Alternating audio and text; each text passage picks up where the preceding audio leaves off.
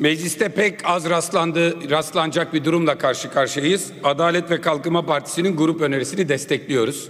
Hatta kendi grup önerimizi de bu yüzden çektik. Biraz önce değerli Hatip Adalet ve Kalkınma Partisi grubu adına konuşurken ifade etti.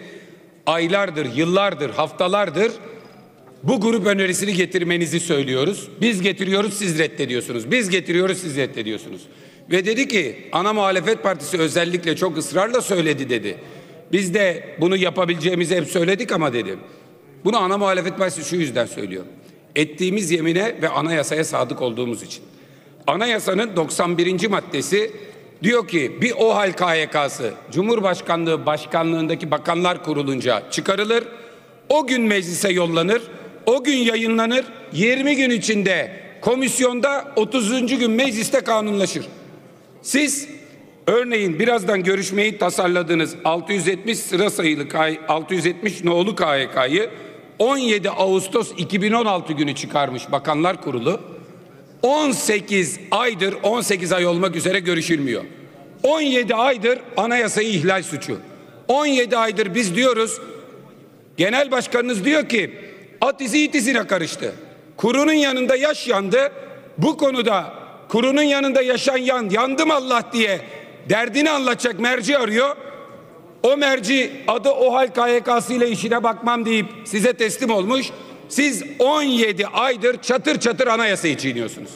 Bugün anayasayı ihlal, anayasaya karşı hukuksuzca direnme ve milli iradeye karşı meydan okuma ve bir sivil darbe sürecinde bir yanlıştan en uzunu 18 en kısası 3-4 birkaç ay olmak üzere dönme durumu var. Elbette destekliyoruz.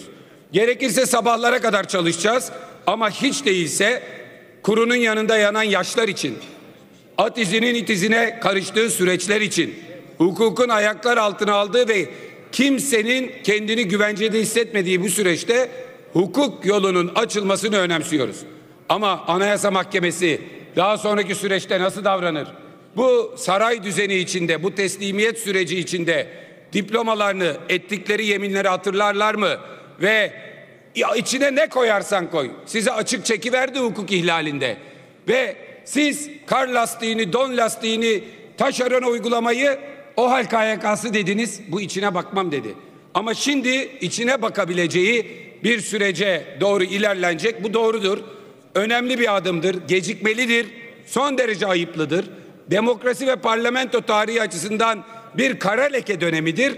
Ama gelinen noktada ana muhalefetin ısrarla söylediği bu şeye bugün tamam diyoruz diyorsanız bu gecikmeli de olsa doğru bir şeydir. Grup önerinizi destekliyoruz. Saygılar sunuyoruz. Sağ olun.